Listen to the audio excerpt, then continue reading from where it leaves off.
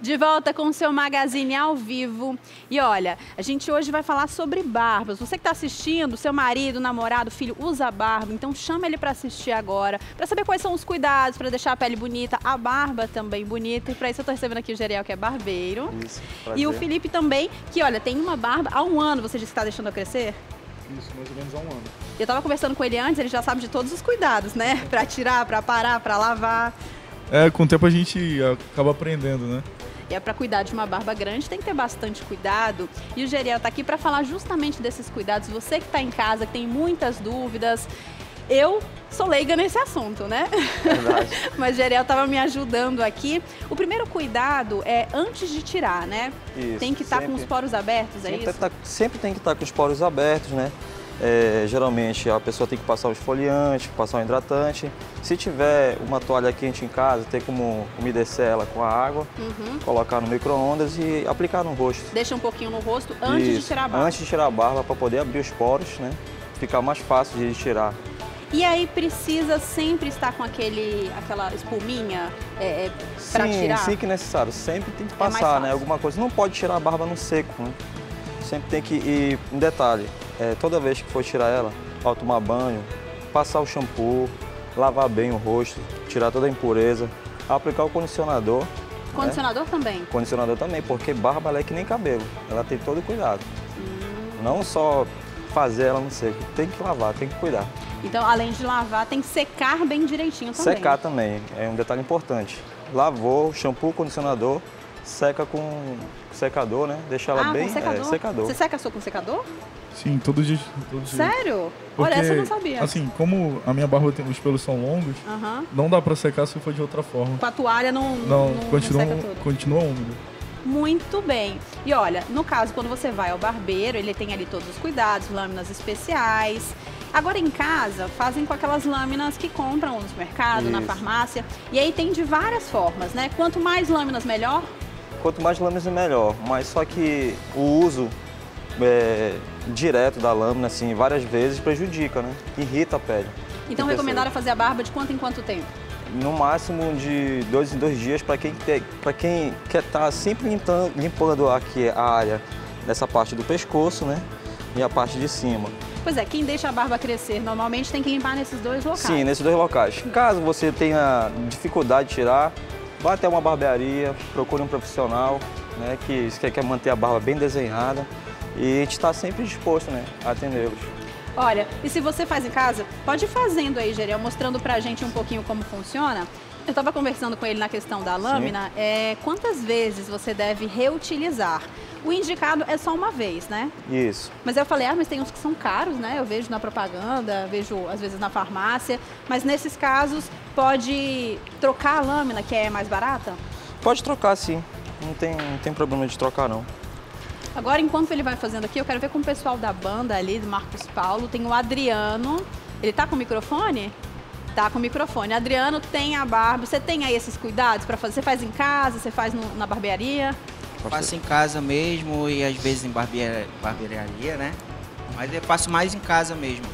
E aí, você já sabia de todos esses cuidados? De ter que colocar uma toalha quente antes, fazer esfoliação depois? Eu sabia de algumas coisas, assim, mas eu aprendi mais coisas agora. Ah, que bom! Eu espero que você Só em casa, que também está acompanhando, esteja aprendendo aí outras dicas. E aí, uma dúvida muito comum é o que fazer para não encravar o pelo. Porque, gente, pelo encravado é sempre horrível. No rosto, então, mais ainda. E a pessoa precisa fazer a barba novamente, vai só machucando, machucando, machucando. Então, o recomendado é tirar sempre no mesmo sentido. Sempre no mesmo sentido, sempre. E outro detalhe, é muito importante depois fazer a esfoliação. Pode fazer, Gerel. Ok. Fazer a esfoliação. Existem produtos de todos os preços no mercado, esfoliantes. Então, todo dia depois do banho, o Gerel estava me contando que é importante, quando você for lavar nesse processo de shampoo, condicionador, Podemos. passar o esfoliante. E aí, olha, um momento com muita concentração, que afinal de contas é uma lâmina ali na região do pescoço. Verdade. E para quem tem barbas assim mais trabalhadas, vou dizer assim, maiores, o recomendado mesmo é ir a um- uma barbearia. Inclusive, homens que estão acompanhando o Magazine agora, tem presente para vocês. Inclusive, as mulheres podem fazer aí para os seus maridos participarem. A gente vai estar sorteando um voucher lá da barbearia, os barbeiros, para quem for na nossa página do Facebook, dizer lá que quer concorrer a esse voucher. A gente vai sortear depois, a gente dá o resultado, então corre. Você que tem um marido aí barbudo, ou filho que quer que ele trate, cuide dessa barba, então aproveita, corre lá na nossa página do Facebook Magazine TV A Crítica para participar desse sorteio. Um tratamento aí completo para a barba no Os Barbeiros. Olha, todos os cuidados aqui você aprendendo, vendo agora o Geriel fazendo uma barba ao vivo. Quero agradecer a sua presença, agradecer a presença do Felipe. E olha, já aprendemos, né, os cuidados. Sempre esfoliar antes, bota uma toalha quente, né, para não correr o risco de encravar. Lavar muito bem, secar, secar muito bem. E aí você vai estar sempre com a barba bonita, não é isso, Geriel? Isso, sempre. Obrigada, viu? Mais uma vez, foi ótimo tê-los aqui. Tenho certeza que tirou muitas dúvidas. E agora eu vou pro palco, porque a gente está recebendo o Marcos Paulo ao vivo aqui no Magazine. Não é isso? Marcos Paulo, Oi. conta pra gente aí um pouquinho é, como é que está sendo agora nessa nova versão dupla, né? Marcos e Marinho. Tem shows já previstos para o futuro? Já, a gente já está fechando com umas, umas casas noturnas aí. E também a gente está fazendo alguns shows particulares. Por incrível que pareça, parece que abriu as portas, porque o sertanejo é bem requisitado. Tá muito né? na moda, né? E aí o pop já tava deixado meio de lado. Assim. Inclusive eu perguntei, é, anulou a carreira de pop rock? Não necessariamente. Não, não necessariamente, mas assim, eu, tô, eu gosto muito das músicas do pop, mas as sertanejas estão me maltratando demais. Estou gostando muito. Então, olha, obrigada pela participação de todos Poxa, vocês. vocês. Amanhã estou aqui logo depois do Hoje em Dia, esperando por vocês 11 horas. Nath vai estar melhor, se Deus quiser, está com problema na garganta, mas tenho certeza que amanhã ela já vai estar aqui. Então, beijo para vocês. Feliz Dia dos Pais adiantado. Obrigado, obrigado. E vamos terminar então em Alto Astral com mais música aqui do Marcos Paulo ao vivo. Beijo, gente. Tchau, tchau.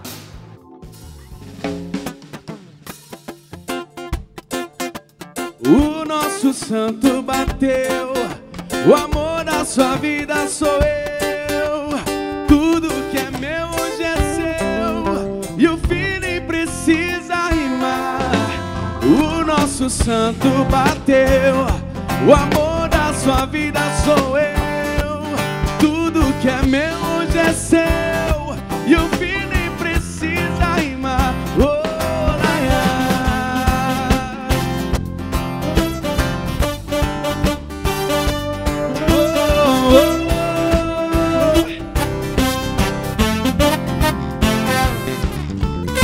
E nessa vida nada se leva. Bem no fundo todo mundo espera um amor que venha pra somar, pra completar. O nosso santo bateu. O amor da sua vida sou eu. Tudo que é meu hoje é seu. E o fim